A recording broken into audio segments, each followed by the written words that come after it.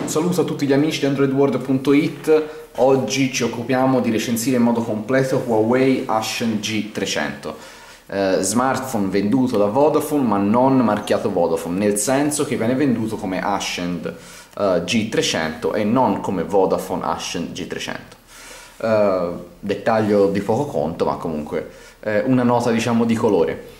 Eh, lo smartphone viene venduto a 199 euro appunto da Vodafone, qualche caratteristica tecnica, processore da 1 GHz, 512 MB di RAM, 2 GB e mezzo di memoria interna espandibile, espandibile con micro SD, schermo da 4 pollici con risoluzione 480x800. Fotocamera 5 megapixel, nessuna fotocamera frontale. Abbiamo già fatto l'unboxing, ma andiamo a vedere velocemente cosa è presente nella confezione. SIM con 5 euro di traffico e in questa scatola troviamo cavo USB, micro USB, eh, scusate la difficoltà nel mostrarvi la confezione, eh, cuffie standard stereo e alimentatore italiano, niente di più. Andiamo a spostare la confezione che adesso non ci interessa e passiamo allo smartphone questo è lo smartphone in versione bianca è presente anche in versione grigio scuro vedete la colorazione bianca. Uh, questa è la fotocamera da 5 megapixel con il piccolo led flash e lo speaker. La scocca è abbastanza interessante perché è comunque di plastica, sono due plastiche leggermente differenti ma è comunque plastica, l'apertura è laterale ed è uh, molto solida, quindi noi non abbiamo avuto problemi particolari per quanto riguarda la qualità costruttiva dello smartphone, vedete ci sono tantissimi agganci, eh, nessun eh, dislivello nel, nell'apertura fra le due scocche. Bilancione del volume a sinistra, tre tasti touch sotto, jack audio, scusate, connettore micro USB sotto, lato destro pulito, sopra il tasto di accensione e spegnimento quasi centrale e il connettore audio da 3,5. Questo è lo smartphone, uh, smartphone dotato di schermo da 4 pollici con risoluzione 480x800, l'interfaccia è quella personalizzata da Huawei con questo cubo rotante infinito e con la schermata di blocco sblocco che avete visto. Lo schermo purtroppo non è eh, luminosissimo o almeno il contrasto sotto la luce diretta del sole ma anche in condizioni di media luminosità eh, non è un granché. Quindi è, sono leggermente sbiaditi i colori e sotto la luce diretta del sole è difficile vedere lo schermo. Uh, il software è Android Gingerbread, non abbiamo informazioni precise circa l'aggiornamento by Screen Sandwich. Devo starnuti. Android è alla versione 2.3 Gingerbread, non abbiamo informazioni precise riguardo l'aggiornamento dei Screen Sandwich che verosimilmente non arriverà mai. Uh, il software è personalizzato in modo abbastanza lieve da parte dell'operatore, si tratta di uh, alcune applicazioni preinstallate, uh, vedete qui quelle di Vodafone.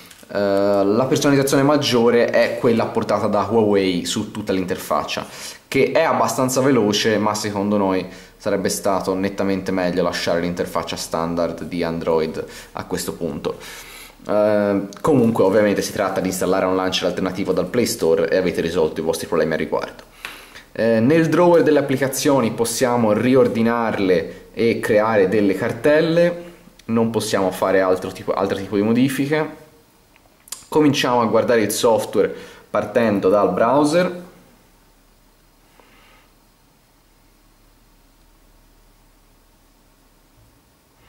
Segnaliamo purtroppo la presenza della tastiera touchpad, anche qui è assolutamente risolvibile con eh, una tastiera alternativa installabile dal market ma eh, ci sentiamo di dire che è veramente un peccato che una tastiera così sia installata di default all'interno di uno smartphone perché ne abbassa comunque la qualità del software. Eh, la correzione non è assolutamente all'altezza di altre tastiere. Eh, andiamo a vedere Chrome OS Word come si comporta con ovviamente eh, Flash Player attivo e tutto il resto eccolo qua. Quindi andiamo a vedere il caricamento di un sito in versione full. Il browser è quello stock di Gingerbread quindi come sappiamo purtroppo non è esattamente ottimizzato come eh, vorremmo come il, ehm, come il browser di Cream Sandwich. Uh, Stranamente, come succede anche in qualche altro smartphone, il caricamento della pagina avviene già zoomato e invece avrebbe più senso che avvenisse con il massimo dello zoom indietro, quindi che tutta la pagina fosse visibile. Lo scroll è abbastanza buono, ma vedete che c'è un po' un lag per quanto riguarda il caricamento della pagina. Ogni volta, anche se la pagina è già carica, c'è sempre un attimo in cui la pagina deve ricaricarsi. Per quanto riguarda il pinch to zoom è abbastanza buono, abbiamo i riscontri peggiori per quanto riguarda lo scroll. Quindi se andiamo a fare, vedete, lo scroll della pagina in questo modo, perdiamo pezzi, tra virgolette. Uh, proseguiamo, abbiamo alcune demo, quindi uno è in versione demo, The Sims 3 Texas Hold'em. Proviamo a effettuare una chiamata nascondendo il numero di telefono, ok.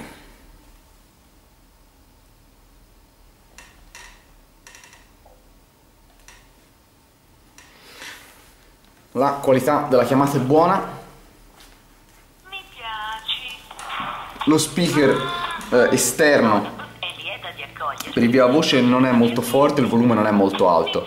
Uh, non abbiamo problemi per quanto riguarda la capsula questa di ascolto durante le telefonate, ma lo speaker, come vedremo anche, possiamo subito passare l'ascolto della musica, uh, non è per niente alto, quindi il volume purtroppo potrebbe essere più alto. Questo è il massimo del volume che possiamo raggiungere su questo smartphone e noi ci stiamo tranquillamente parlando sopra, quindi purtroppo il volume è quello che è. Proseguiamo. Abbiamo un gestore di file che si occupa anche di gestire le applicazioni eh, installate. Tutte le applicazioni standard di Google, la galleria è quella stock, la fotocamera è eh, possiamo dire decente, ma per, diciamo per 5 megapixel forse ci aspettavamo qualcosa di meglio. qualche esitazione ok stava caricando.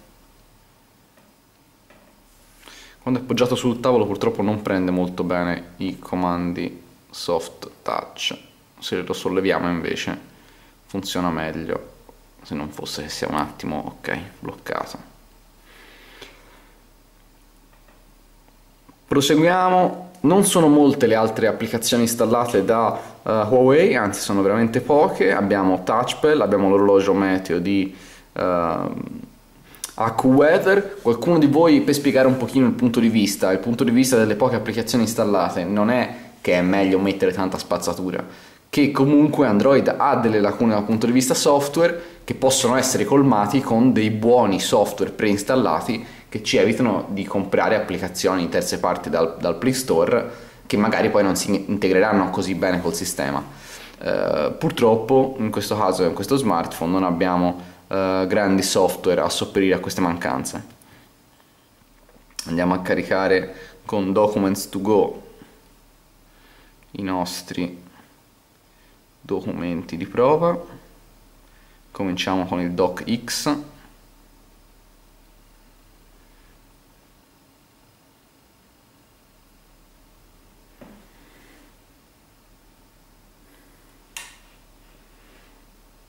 vedete qualche affannamento nel caricare il documento. È ovvio noi stiamo cercando di mettere un pochino sotto stress però vedete che le prestazioni sono assolutamente non all'altezza. Terminiamo il tutto perché stava cercando di effettuare uno zoom dopo essere andato completamente nel pallone.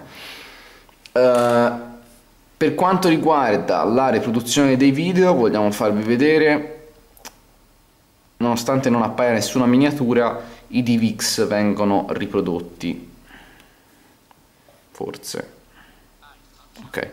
Questo è il massimo del volume, è praticamente non, non, quasi non riuscite a sentire nulla se io continuo a parlare sopra, se sto zitto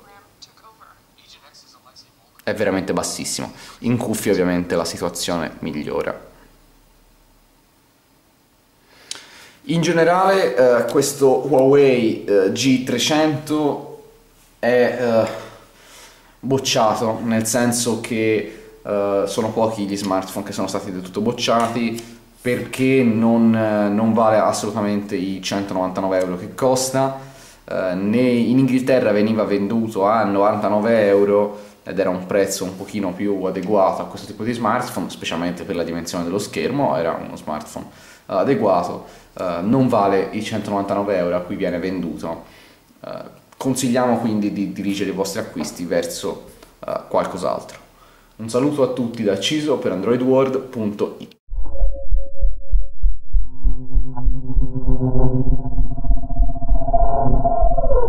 Mm-hmm.